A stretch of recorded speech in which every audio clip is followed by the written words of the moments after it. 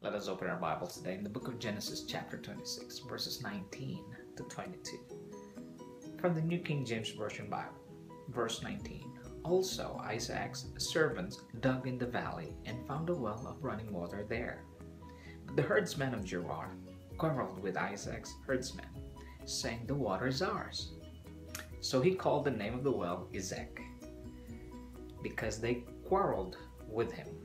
Then they dug another well and they quarreled over that one also. So he called its name Sitnah. And he moved from there and dug another well, and they did not quarrel over it. So he called its name Rehoboth, because he said, For now the Lord has made room for us, and we shall be fruitful in the land. Isaac was prospered by the Lord because of his obedience the Philistines envied and uh, were not happy that uh, Isaac's men were digging the, the well of Abraham.